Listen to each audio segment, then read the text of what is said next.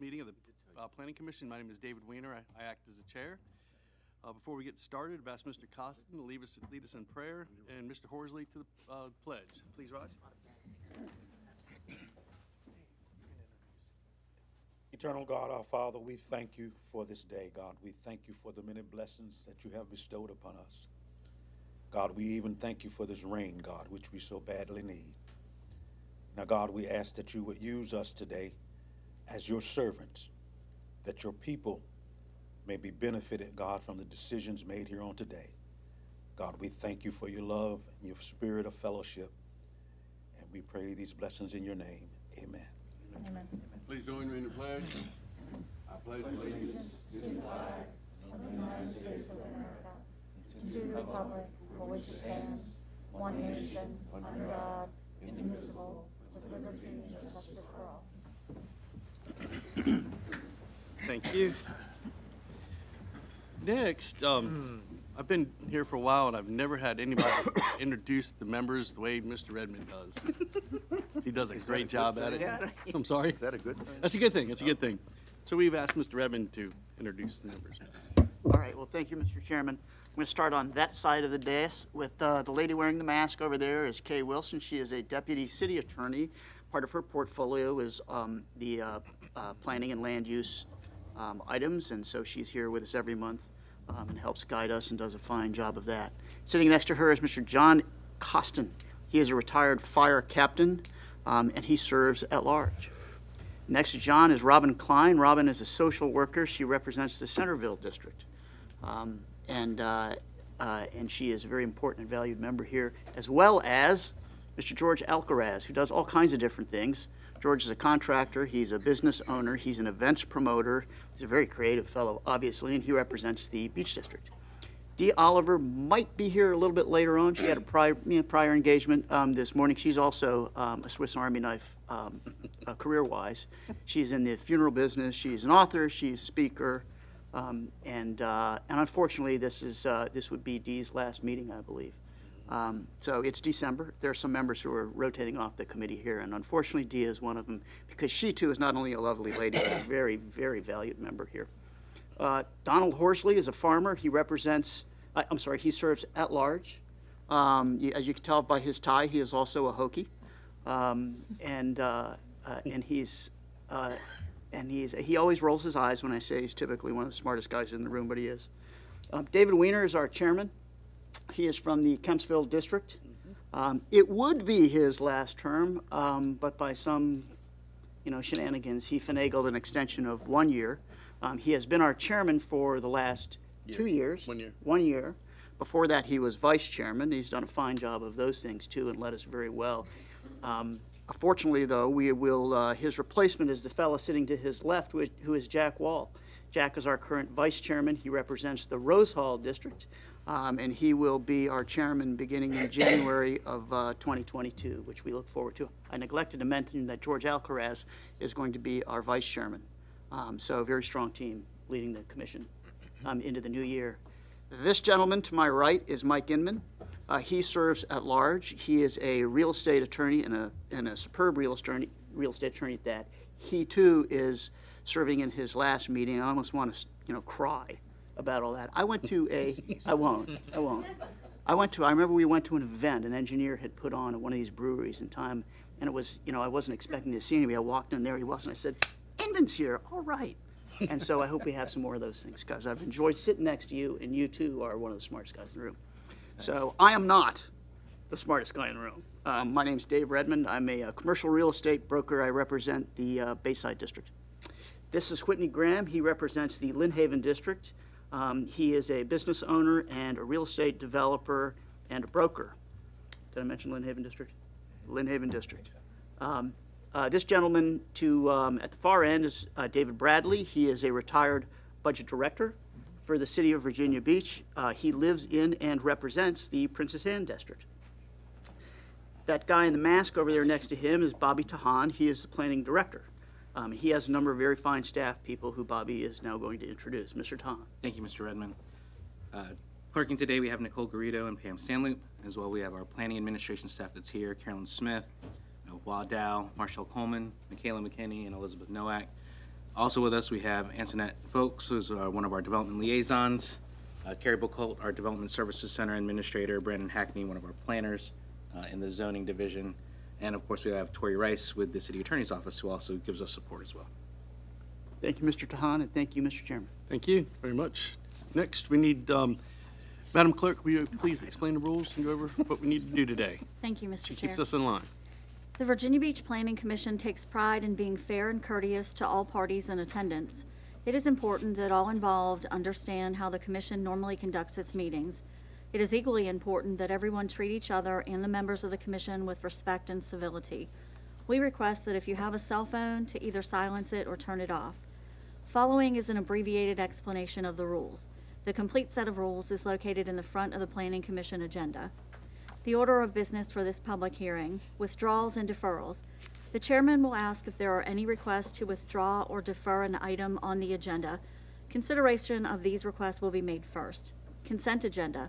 Second order of business is a consideration of the consent agenda, which are those items that the planning commission believe are unopposed and which have favorable staff recommendation. Regular agenda. The commission will then proceed with the remaining items on the agenda. When an agenda item has been called, we will recognize the applicant or their representative first. Following the applicant or their representative, registered speakers will be called next. Speakers in support or opposition of an agenda item will have three minutes to speak unless they are solely representing a large group, such as a civic league or homeowners association, in which case they will have 10 minutes. Please note that the actions taken by the commission today are in the form of a recommendation to the Virginia Beach City Council. The final decision to approve or disapprove an application will be made by the city council.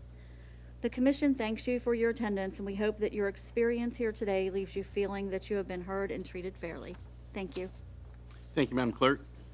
Um, Before we get started, we have uh, some house cleaning up to do here. Um, we need to add this item to the agenda, and I need a motion to add this item, a resolution to schedule monthly meetings of the Planning Commission from January 22nd to to December 2022. Dec- January 2022, December 2022. Can I have a motion, please, to add this to the agenda? Uh, Mr. Chair, I make a uh, motion to add the resolution to schedule monthly meetings of the Planning Commission to the agenda. Second. All right, we have a motion by Mr. Wall and a second by Mr. Horsley. Okay, Vote is open. By recorded vote of 10 in favor, zero against, adding a resolution to schedule the monthly planning commission meetings for 2022 has been added to the agenda. Thank you.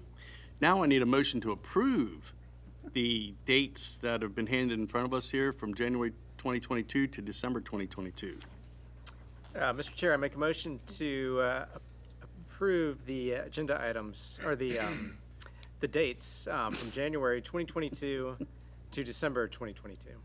All right? Do you have a second? I'll second that, too. Motion by Mr. Wall, second by Mr. Horsley. Okay, vote is open. By recorded vote of 10 in favor, zero against, the resolution to add the planning commission dates for 2022 has been ap- approved. Thank you. Now, what we do every time this year, we need a uh, nomination for officers for 2022. Mr. Chairman, I would like to place in nomination for Chairman of the Planning Commission for the upcoming year, Mr. Jack Wall, and for Vice Chairman, Mr. George Alcaraz. Second. Second, here we have a a motion by Mr. Horsley, a second by Mr. Inman. Redmond. I mean Redmond, I'm sorry. I knew that. I was looking right at him and said Inman. We look so much alike. Yeah. Oh, Vote is oh, open.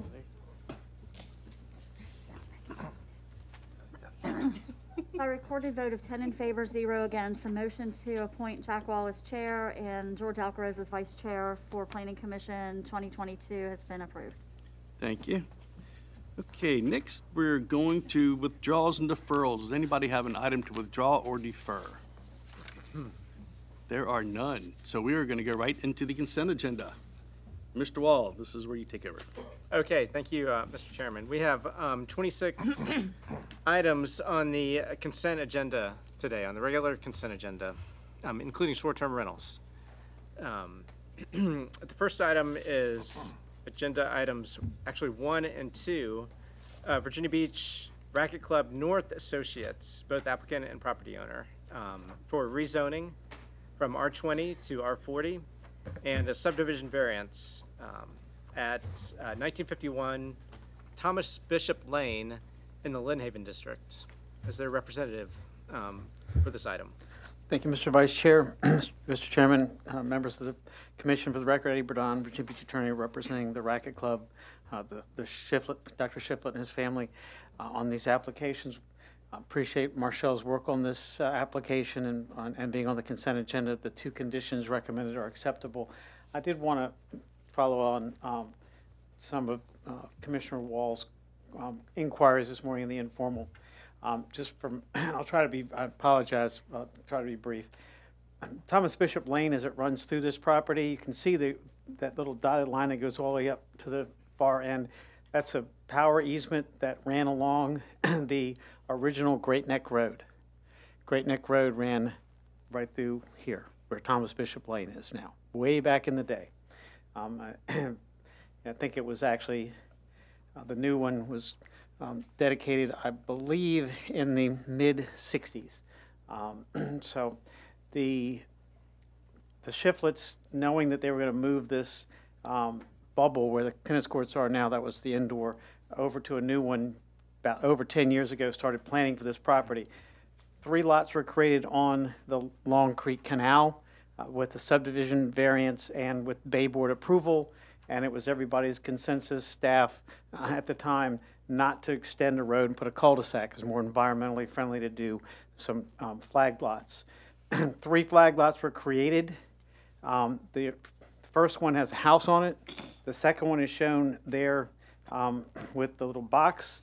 The third one is where the, the box would have been, and then there was more land to the west and then all the way down.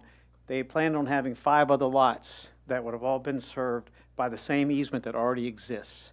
Instead, we're just creating three. The, the third lot of the original three has been incorporated into the rest of the property. That's that three-plus acre piece that will remain as one piece. Two less lots than were originally anticipated, and the road, no, there's no new improvements. Uh, What is there will continue to be the road under the existing easement that exists today. Sorry for the length, but I thought it would be helpful to everybody to understand. Okay, thank you. Thank you. Yep.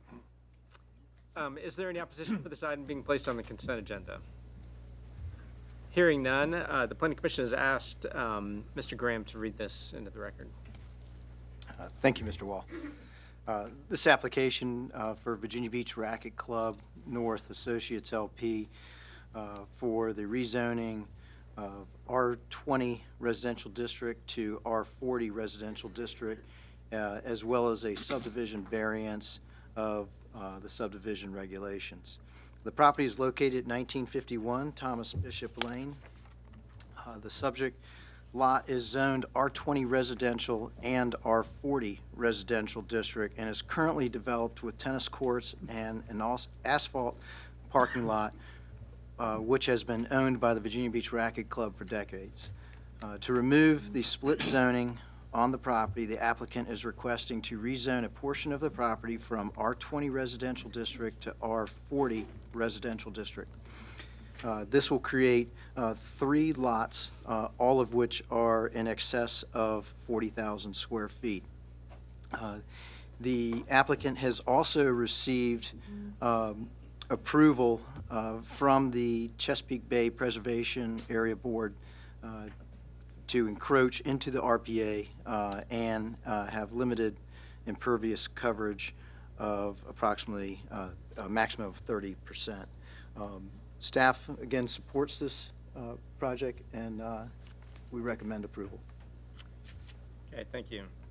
Uh, The next um, item on the agenda is agenda item number three, Samet Properties LLC is the applicant, and Taylor Farms Land Company LLC is the property owner. Um, It's conditional rezoning, um, AG1 and AG2 to I-1 Light Industrial at 2097 Harper's Road, Beach District.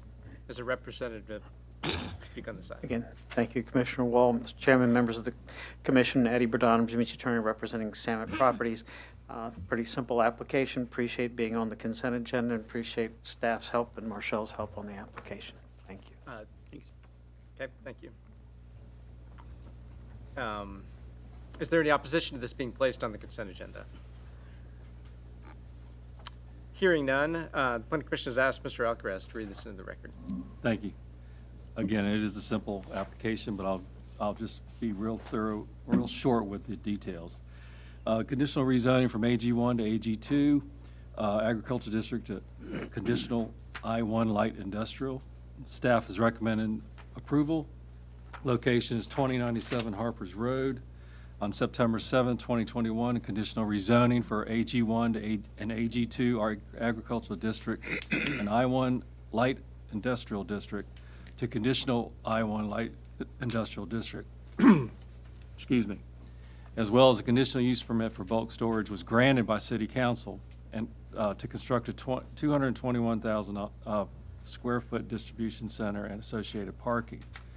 With that uh, application, the applicant proposed two stormwater management facilities and underground storage below the proposed parking lot to address the stormwater quality and quality control for the site. The applicant is now seeking to increase the stormwater management facilities for the site by an additional 10 acres to install additional storage in the above-ground pond. To accomplish, to accomplish this, the applicant is requesting to rezone an additional 10 acres north of the approved site from AG1 and AG2 to conditional 1 to to accommodate for the additional above-ground storage for this site. The Planning Commission is recommending this item for consent agenda for approval. Okay, thank you. Uh, The next item on the consent agenda is agenda item number four, um, Monet Freedom, Freeman, as um, the applicant Shops, Shops One LLC is the property owner. It's for a conditional use permit for a tattoo parlor at 4380 Holland Plaza Shopping Center in the Rose Hall District. Is there a representative to, uh, to speak on this item? Mr. Wall, um, Monet Freeman is virtual, she's WebEx. So Monet, if you would wait two to three seconds, we're gonna unmute your mic. Please state your name and then state whether or not you agree with the conditions of your application. You're on the consent agenda.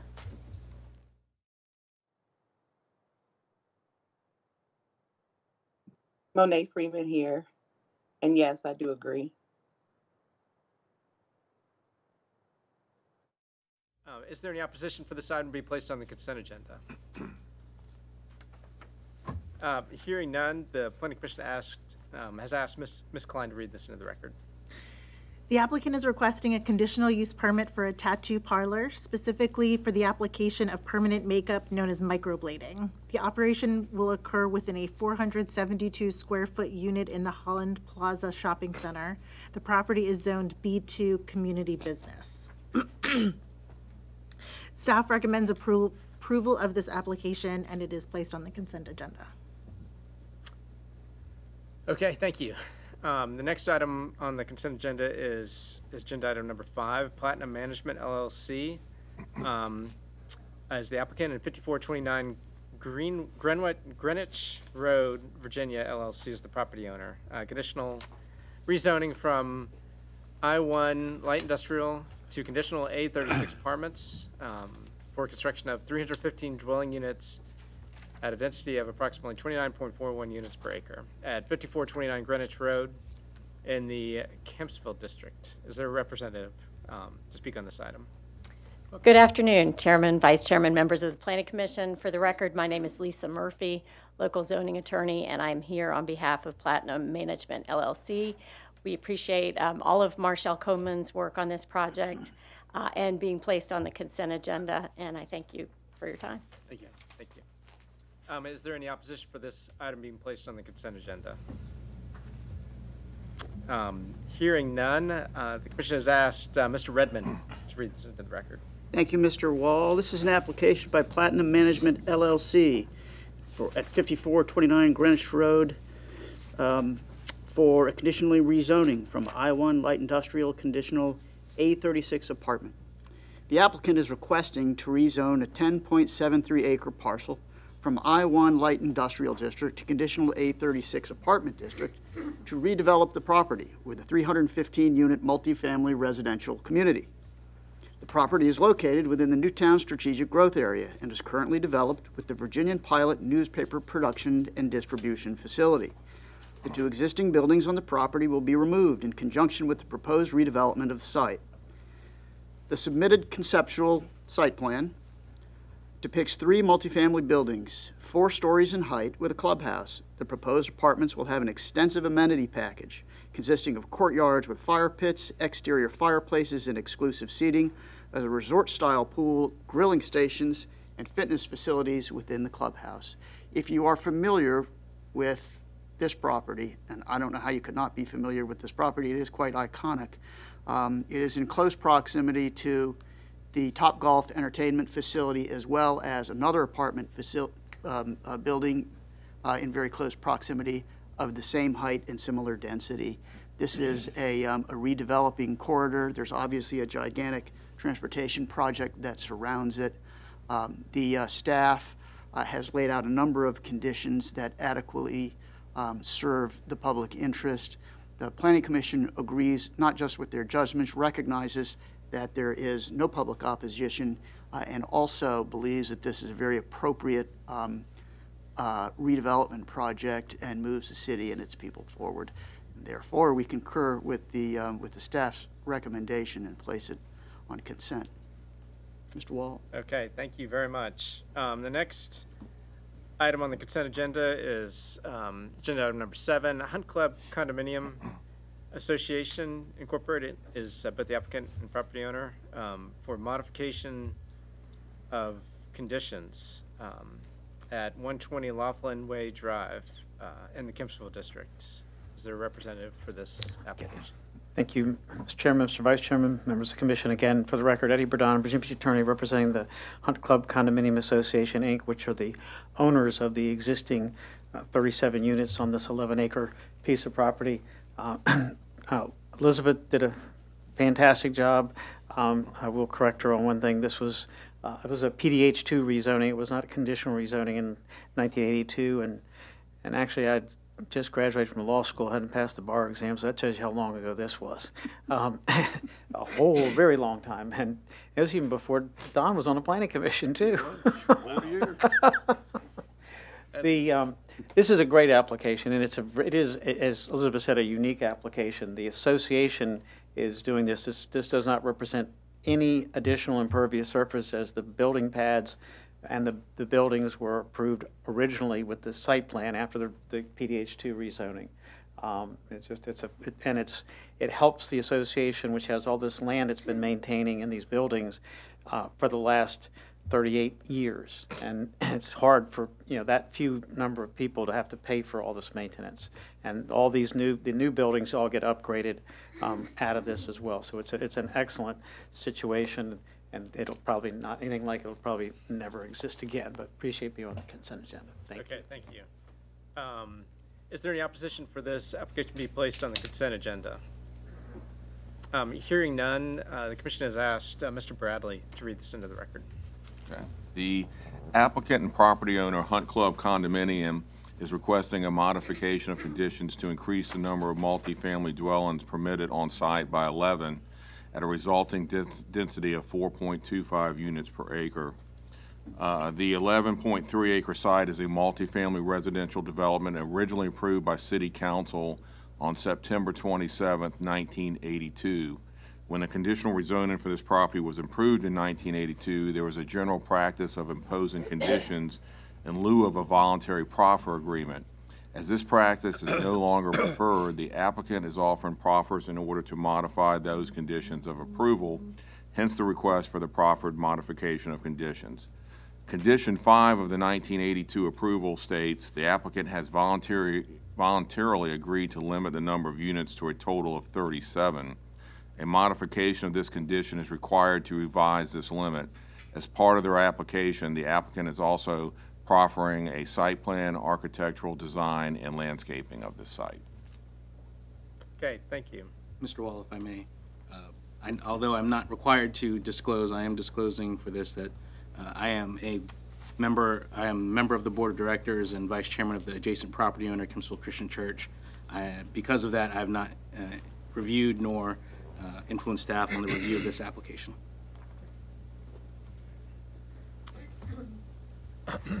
Okay, thank you. Next, um, next item on the uh, consent agenda is agenda item number eight. Um, Trayana Mills, um, is the applicant in Providence Square Office Park Associates as the the property owner. um, Condition, for a conditional use permit for a tattoo parlor uh, at 1017 uh, Kempsville Road uh, in the Kempsville District. Is there a representative for this application? Okay. Um, Yeah, okay. Okay, all right, seeing that there's none, um, we are just, we're going to move. Um, is there any opposition for this item to be placed on the consent agenda?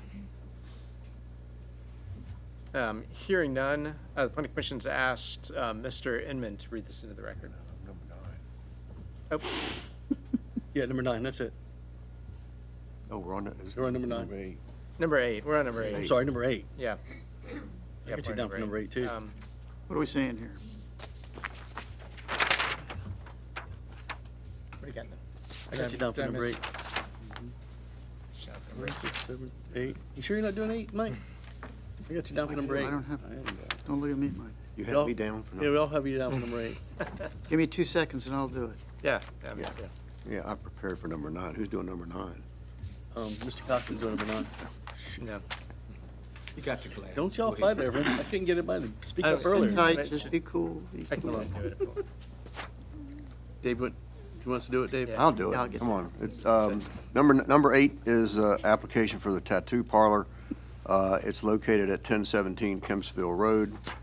The, uh, request is for, um, the applicant to obtain a, um, must obtain a business license and a, from the health department. Uh, The uh, is not proposing any new signage for the establishment. Uh, About four employees are anticipated, and typical hours of operation will be 10 a.m. to 5 p.m. There are a number of uh, conditions that have been approved and it's accepted by the applicant.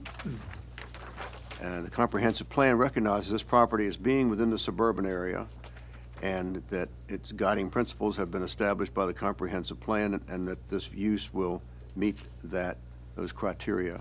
And for that reason, uh, staff recommended it and we agreed to put it on the consent agenda.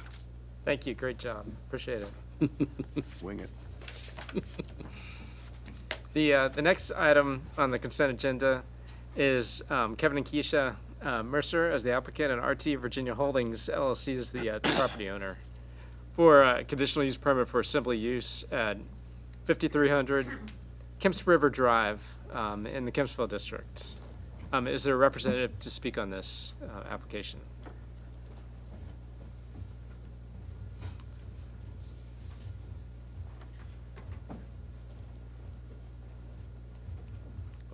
Welcome. Please Thank you. Good afternoon. My name is Keisha Mercer. I represent um, Venue 1225. I am um, seeking a space for individuals to have celebratory events. Okay. And I thank you all for your time and consideration. Okay, thanks. Are the, um, are the condition, the six conditions acceptable? Yes, Okay, thank you. Okay, appreciate it. Thanks. thank you. Um, Is there um, any opposition for this application be placed on the consent agenda? Jack, just, let me go out of the box here for a minute. Just, today's Mr. Inman's last meeting, and he's ready to read number nine. I think we should let him read number nine. Oh, that's a Go great ahead. idea. That's a great idea. Yep. Go ahead. Mr. Costin would be very disappointed. He's just hanging out. I, I think he'll be. I don't think, all he right. doesn't look disappointed. You don't mind if I do? I don't that? mind. Oh, okay. Wait, That was very gracious of you. But can I just ask, did we ever resolve who is doing eight? I mean, is this just a mystery? We're was- gonna leave it? That's Uh, okay. yeah. Anyway.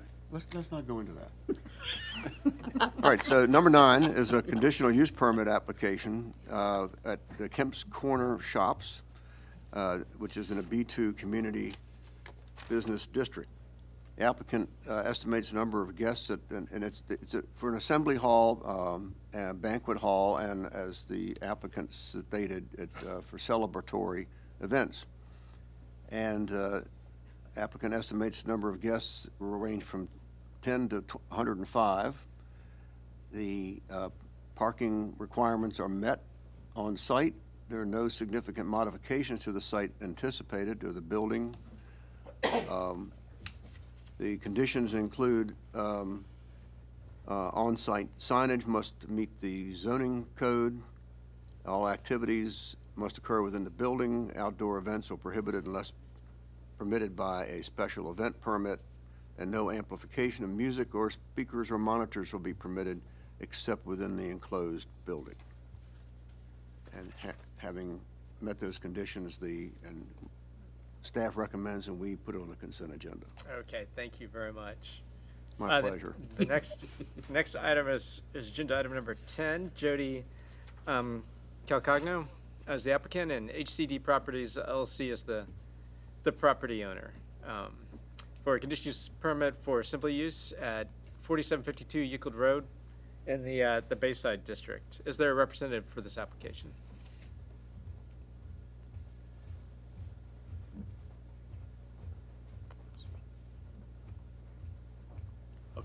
Thank you, Chairman, Vice Chairman, and members of the Planning Commission. My name is Jody Michelle Calcagno, and I'm representing 4752 Euclid Road. Um, Thank you, Michaela, for your uh, guidance during this process, um, and thank you for including me on the consent agenda today. I um, accept all terms.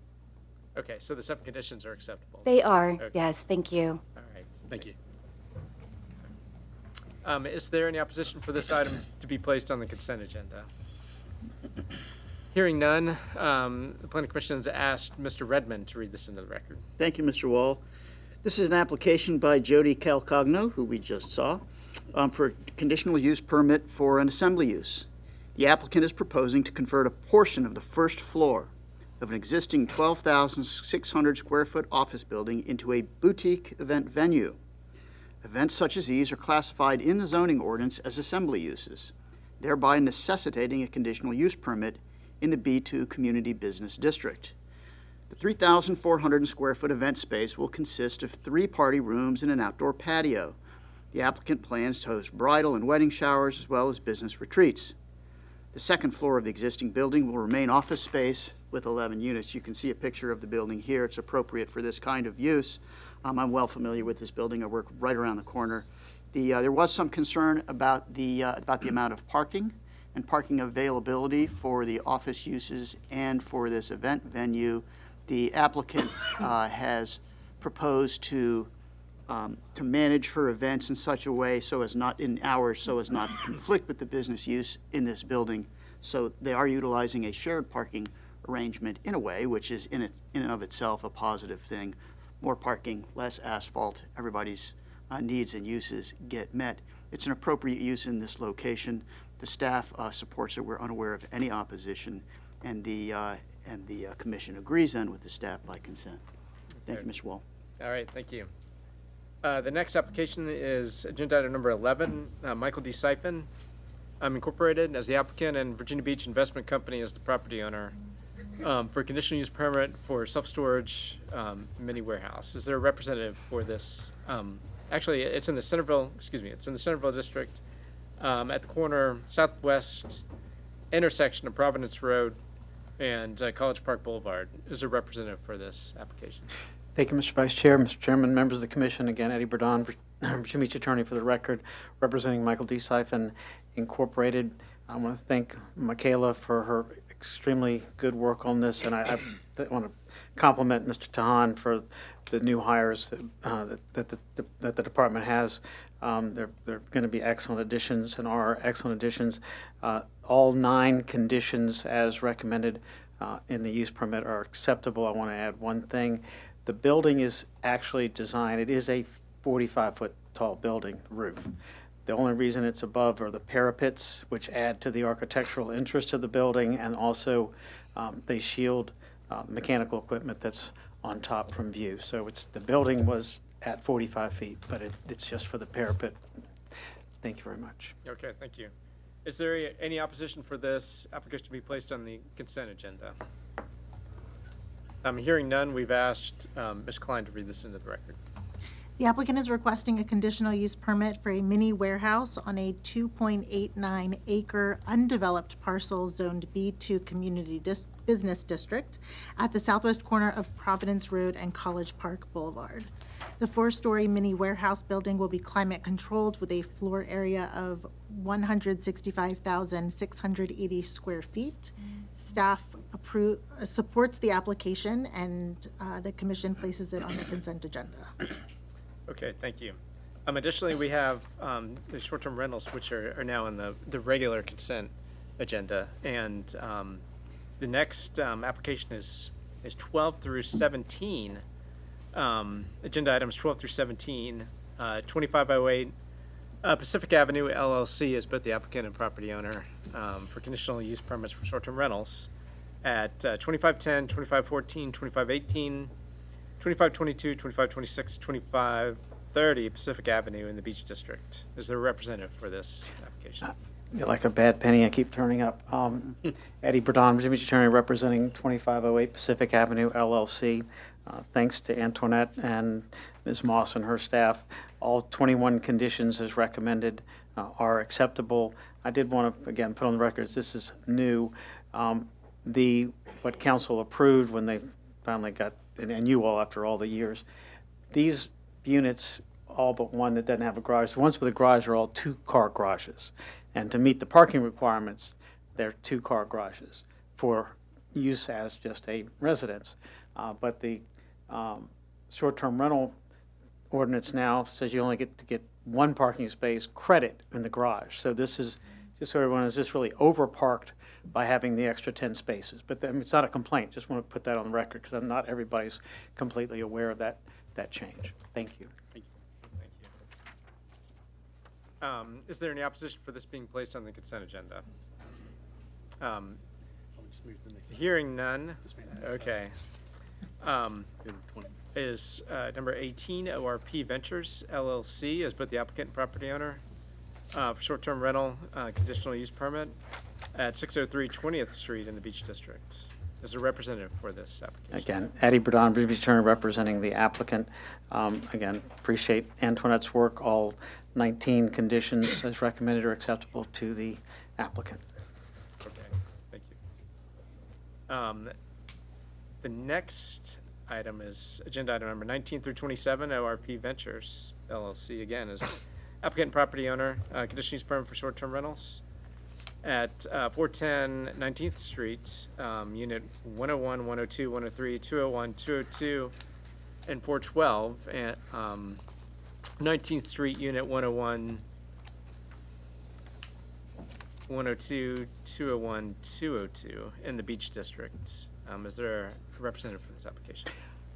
Again, Eddie Bourdon, Virginia Attorney, representing the applicant. Before I tell you that all 19 conditions, or excuse me, all uh, 18 conditions are acceptable, I want to thank Mr. Inman for his service to our city. Um, And I- all of you, for that matter, as volunteers, much, as much time and effort as you put into it, but Mr. Inman has brought a, a great deal of uh, knowledge of real estate law to the, to the table, which I think has helped everyone over the course of his tenure on this commission, and he'll be sorely missed, won't, uh, won't be able to be replaced, but there'll be someone that'll do a good job just the same. And I want to thank everybody, or, excuse me, wish everybody happy holidays, um, Merry Christmas, Happy New Year, hope everybody has a great, safe um, holiday, and uh, appreciate Brandon's work, and the conditions are acceptable to my clients. Thank you very much. Is there, um, is there any opposition for agenda items um, 18 through 27 being placed on the consent agenda? All right, um, hearing none, uh, Mr. Chairman. Wait, then, then, well, I'll get to you. Wait one second. okay. Go ahead. Good, Okay. you're up. um, Mr. Chairman, hearing none, um, I make a motion that we approve uh, agenda items uh, one and two, um, three, four, five, seven, eight, nine, 10, 11, 12 through 17, 18, and 19 through 27. All right, we have a motion for approval. Do we have a second? Second. Have a second? No, no, no, no. Okay, um, now, Disclosures. yeah, no, I know, we're going there. We got the motion, we got a second, now we have disclosures. Okay, um, Go, you start. Whitney? Thank you, Mr. Chairman. Uh, Pursuant to the Conflicts of Interest Act, uh, Virginia Code Section 2.2-3115F, um, I make, and I have a letter on file uh, to this as well, I make the uh, uh, following uh, declarations. Um, The following uh, agenda items on today's agenda uh, have uh, some financing by Town Bank, which I serve on uh, one of the boards at Town Bank. Uh, But I don't make any, uh, any decisions based on, lo- for loans or anything like that. Um, So anyway, these are items one and two, Virginia Beach Racquet Club North Associates LP, 1951 Thomas Bishop Lane. Number 10, Jody Cal Cogno, uh, 4752 Euclid Road. Um, Agenda items 12 through 17, uh, 2508 Pacific Avenue LLC uh, for 2510, 2514, 2518, 2522, 2526, 2530 Pacific Avenue. Uh, Agenda item number 18, ORF Ventures LLC, 603 20th Street. Uh, Agenda items 19 through 27, ORF Ventures LLC, 410 19th Street, Units 101, 102, 103, 201, 202, uh, 4, and uh, this is uh, at at 412 19th Street, uh, Units 101, 102, 201, and 202. Sorry about the length of that. Thank you. All right, next, Mr. Redmond. Yeah, I'm not going to do any of that. I will say that I um, have a letter myself on file with the city attorney's office, um, which uh, prevents me from voting on all of the short-term rental. Uh, I have a client in the travel industry, and I therefore um, do not vote on any of the individual short-term rental applications, nor on any of the ordinances that govern short-term rentals. So I will not, so while I will be voting in favor of the consent agenda, I'm ex- specifically abstaining from those items, which um, I have down as numbers 12 to 27 uh, on short-term rentals. Thank you, Kay, and thank you, Mr. Chairman. Mr. Edmond? Yes. um, I have, uh, to make a disclosure regarding uh, items financing by Town Bank. Uh, I serve on an advisory board, as uh, does Mr. Graham. That does not make any uh, loan decisions, but disclosing with regard to uh, agenda items 1 and 2, 10, 18, and 19 through 27, without going into the same detail that uh, Mr. Graham did. Uh, I believe I can participate in these uh, decisions fairly and objectively, and I will participate in voting on those items. Uh, Next, I, um, ma- making a disclosure um, with regard to item number three, Samet Properties, one of my uh, partners uh, represents the applicant, uh, Taylor Farms Land Company. And I'm not involved in that representation, nor do I represent the owner. Um, And I have no financial interest on having made this disclosure. I believe I can participate in this uh, vote objectively, fairly, and in the public interest. Last but not least, with regard to item seven, Hunt Club condominium, I represent that applicant, uh, uh, and otherwise not here today, obviously Mr. Bourdon did. Uh, And um, I will therefore abstain from item number seven. Okay. Mr. Graham, do you want to add something? Uh, Yes, sir, Mr. Chairman. I uh, apologize. Um, In my disclosure, I, I want to add that I do plan to participate uh, in today's vote and that I feel that I can do so fairly um, and objectively Okay. in the public's interest. Thank you. Anyone else? Okay, we have a, a motion for approval by Mr. Wall and a second by Mr. Horsley. Okay, vote is open.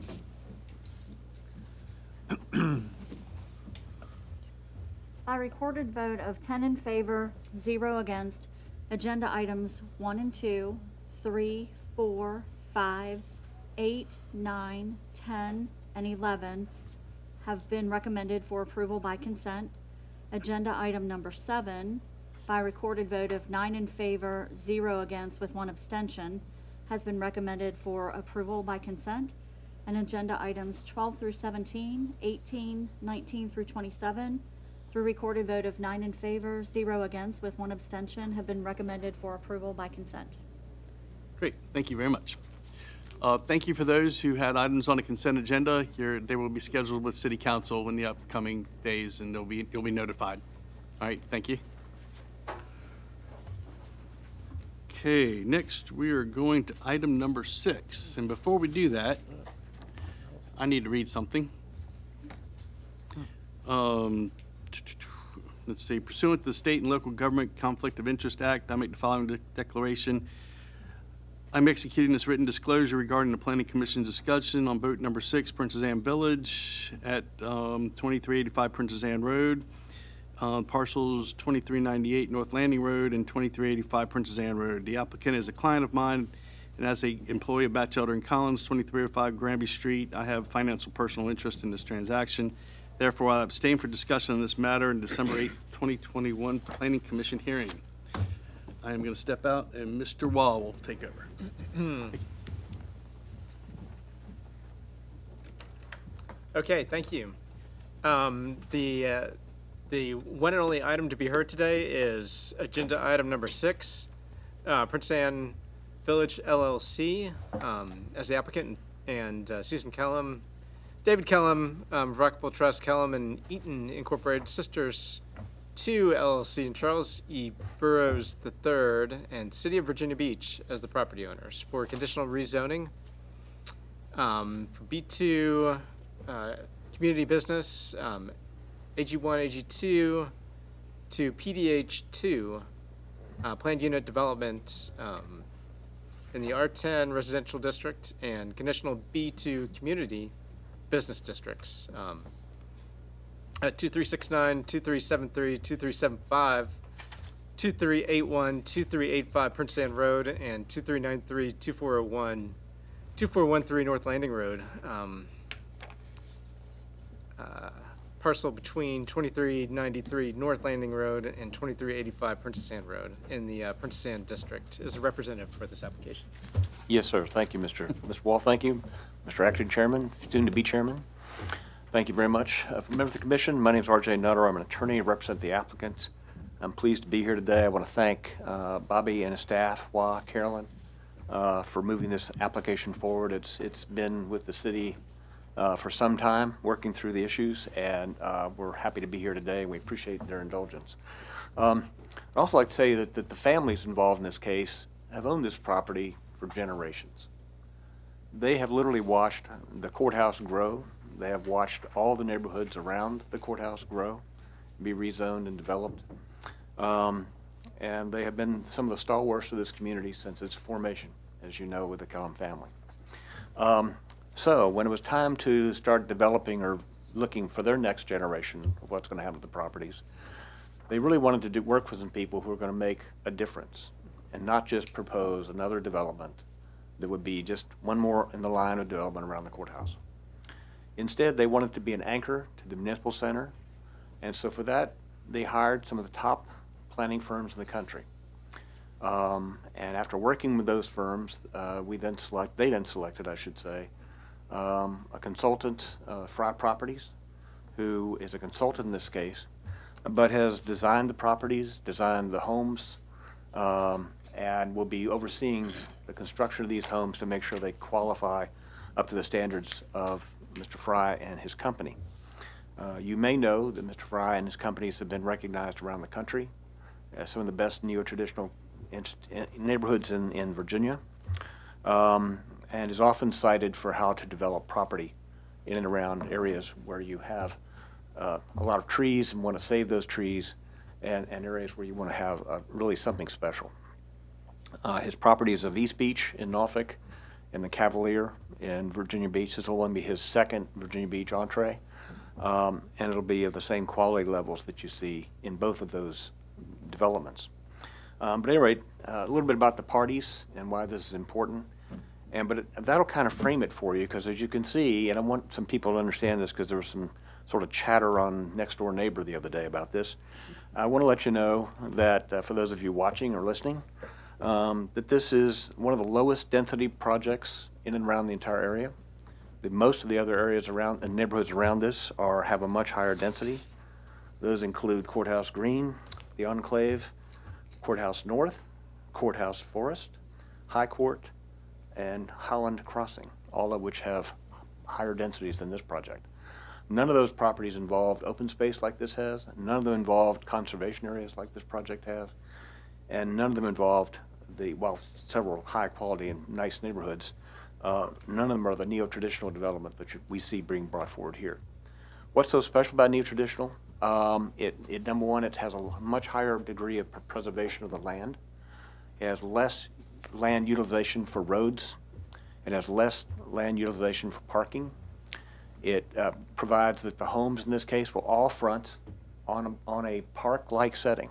Every single home in this development will front on a park-like setting. Um, The access to those homes where the cars will be parked is in the rear. You will not see them. Um, And this allows for, again, uh, greater urbanization between people. They get to walk around. It's a very walkable neighborhood. You're not going to see people trying to get to their homes by stepping over somebody's car in the parking lot and so forth. You walk up to their front porch just like you do years and years ago in New England neighborhoods where this was forced, forced, brought to, brought to the forefront. Uh, In terms of density, again, as I told you, we're amongst the lowest. Uh, One thing, if I could, I did want to show about the density. Well, the number is 89 in terms of of actual units, or, or in terms of the zoning ordinance. There are really 73 single-family development homes, 73. The reason it's 89 is because, and this would be important, Robin, for your perspective, there are up to 16 available apartments here, garage apartments. They cannot exceed 800 square feet. They cannot, they ha- cannot have their own utility service. They have to be connected through the home. It has to be contained fully within the home. This was the same product we introduced at the Cavalier and at East Beach. The benefit of this is it allows people in different um, demographic areas and with different socio-economic backgrounds to live in a nice neighborhood without buying an expensive home. It was very important for people who live that close to the courthouse to be able to have those type of units so they can live and walk to the courthouse. It's important for people who buy these homes to have residents of members of their family who are getting older and don't want to live independently, but want to live want to live independently, but want to live somewhere close to their families. This was intentionally put in to this ordinance in this case. Um, in other cases, it doesn't even have to count toward density, but we said, all right, we'll be happy to count it toward density, since even with those units, we're still under the densities of those around us. So I wanted to know about that.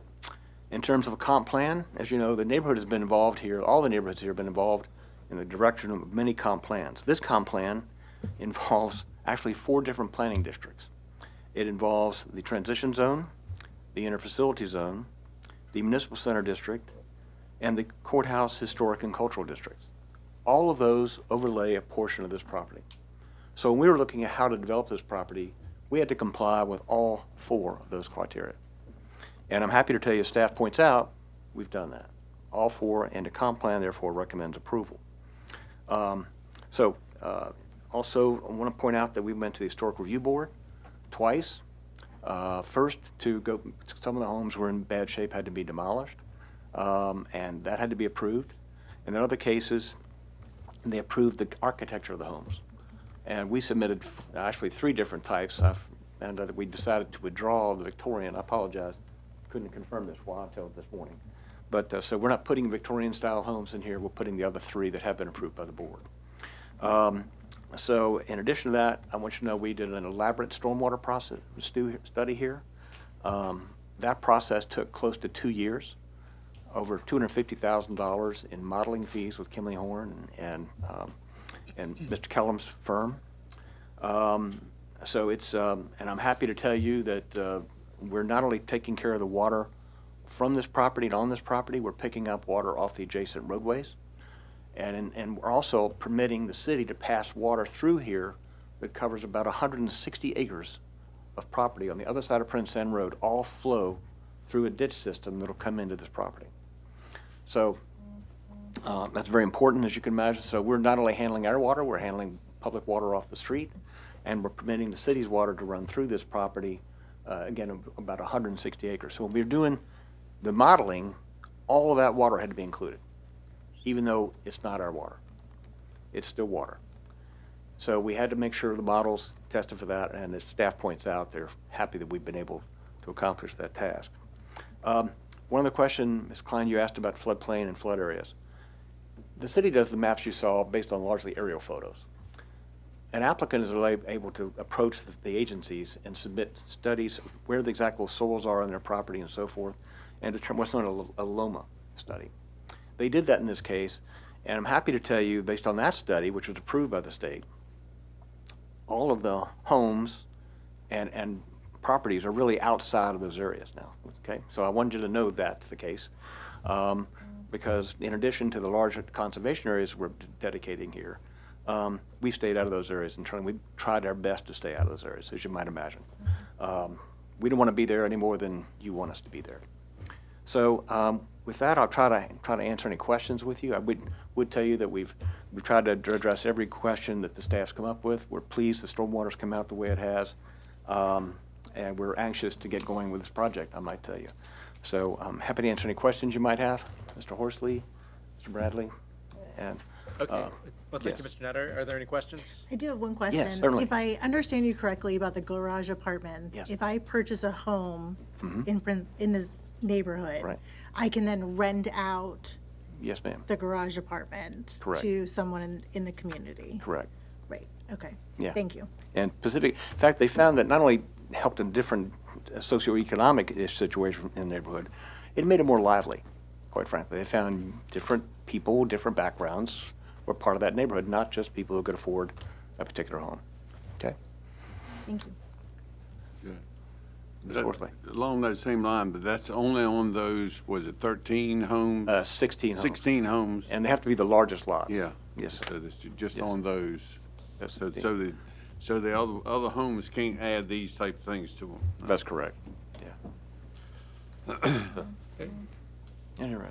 Anybody else?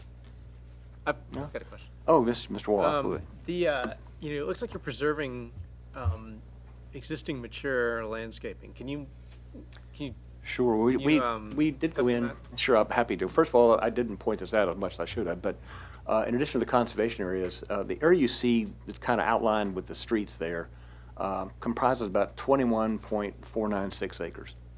Um, Within that acreage, we have about 6 point, uh, 6.12, hold on here, 6.27 acres of open space. And it was done intentionally, not only for the park protection, but also we wanted to preserve as many trees on the site as we could. And in fact, we did some tree surveys, and we found some, actually some trees that really make some sense in trying to save.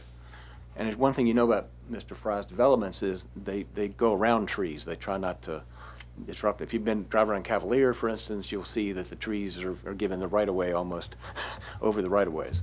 Um, that's one of his styles of his development. But um, there's tree preservation going on in those areas. There will be some tree loss. I can't mislead you because it's a heavily wooded site. Um, but on the other hand, we're preserving far more areas, almost three to one areas, where, we're disturbing in this, because we have 70 some acre, about 70 acres of conservation area. We have, of the 21 acres, we have 6.27 inside of that that are preserved as well. okay, um, also the buffer on Princess Anne Road. Sure. Um, it looks like there's a, you know, preserving, um, We you know, are- some of the material landscaping plus, you know, like a setback from It that. really is. I, that's, I, I'm glad you pointed that out, because one of the things we, it was in the design process, which is, which was uh, exhaustive, because it kept getting better. And that was one of the things we added, with just from the last year, uh, was this elongated feature that's about 50 foot wide, runs the entire length of it.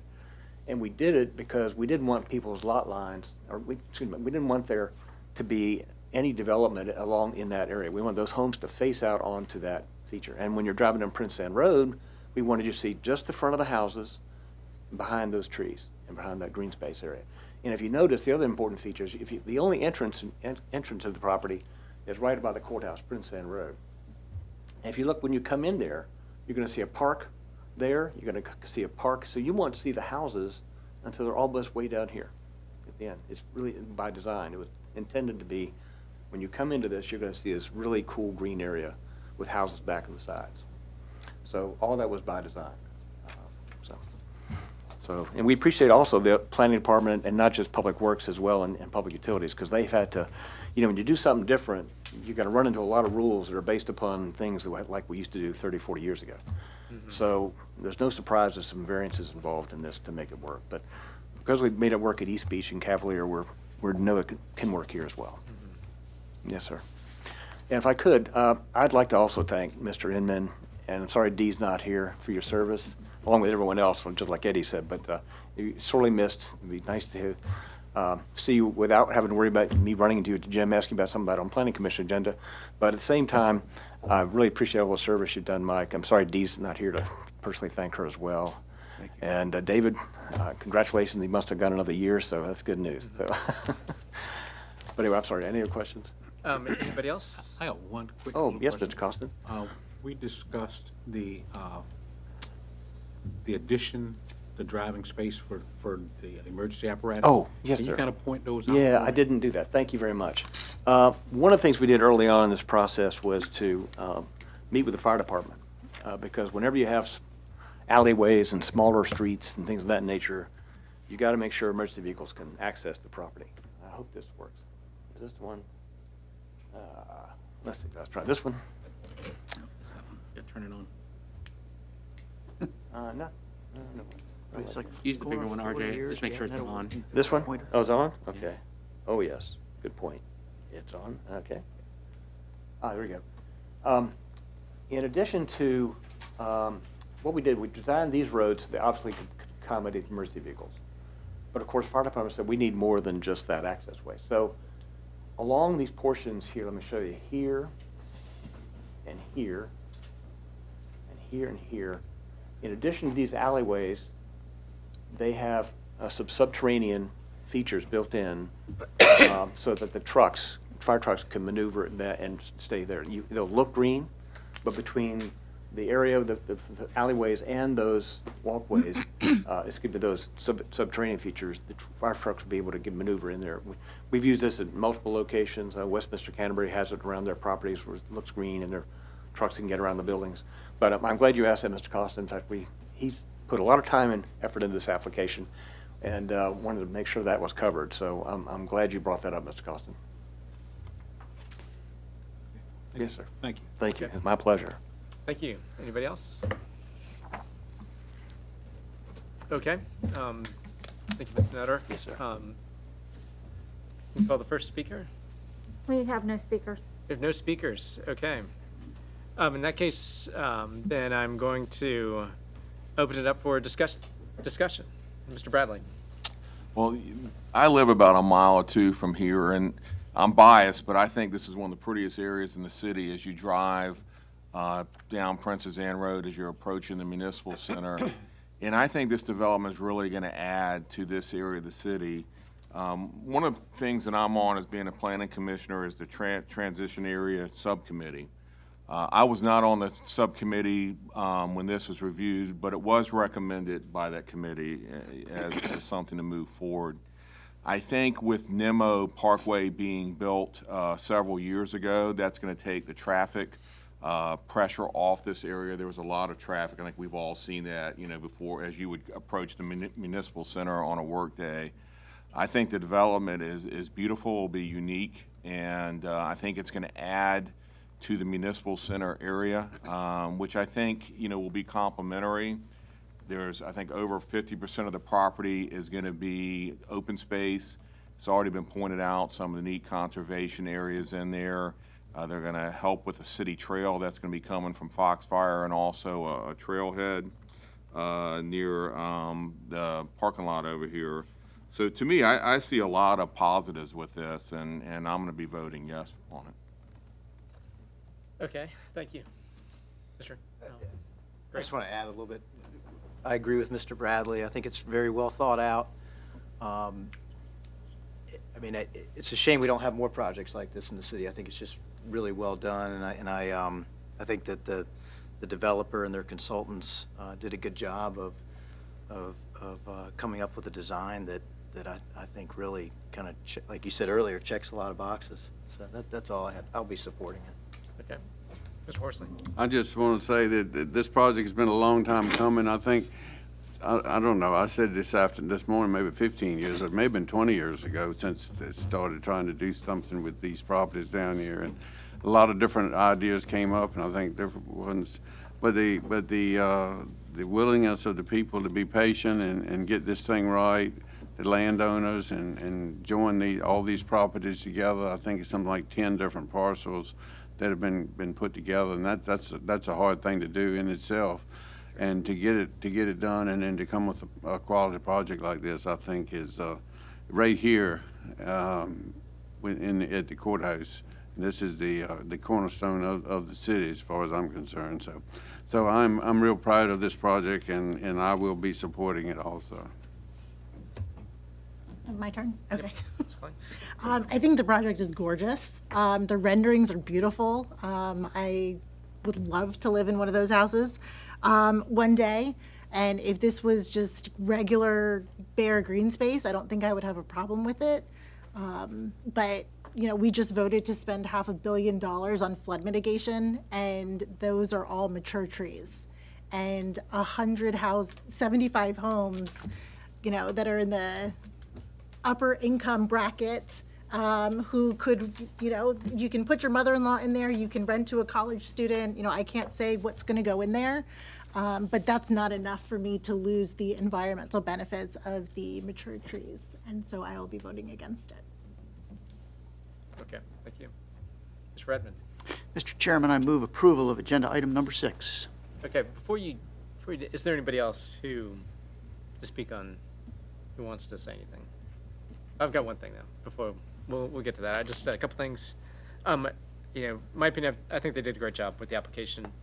Uh, maintaining open space and mature landscaping, you know, the green space, um, I think the architectural features, um, blend with the courthouse district, um, unique site layout, um, that preserves the open space and limits, um, you know, the, the impervious footprint. Um, I think, you know, I trust the stormwater review, uh, that's, that's been done, um, has been appropriate, and uh, I trust that it's, uh, the additional review that's going to be done through site development process will be, um, just as thorough. Um, the transportation, uh, there was some, um, opposition in terms of written opposition, you know, mostly based on transportation. Um, you know, certainly, you know, it's gonna add trips, you add homes, it's gonna add trips, but I, I, I think it's gonna be minimal impact to, to traffic at that, corridor. So I'll, I'll be supporting. Mr. Inman? Well, let me, let me just add, it. this is a, obviously a challenging piece of property, but it is a piece of property that, that our fellow citizens own. And if they're able to develop it in a responsible way, they deserve the opportunity to develop it. No one could possibly have gone much further in planning, uh, in the sensitivity of their planning, uh, and is, has been incredible, uh, obviously, and it's taken quite a while to do it. And in this day and time, all of us, I think, are well aware that stormwater management is, um, is, has very high degree of requirements now, uh, far more than, than ever before, some more than some of our civil engineers think is even reasonable. Um, So uh, they have to meet all those criteria at this point in time, and apparently, and they, uh, they can't. So uh, I'm, I think it's a great project to support. Okay, Mr. Redmond? Actually, I would yield to Mr. Bradley. Okay, I, I would move that we approve agenda item six, the conditional rezoning of this. Okay. Second. Okay. All right, um, That was a motion by Mr. Bradley and a second by Mr. Redmond? yes. Okay, thank you. Vote is open. Okay.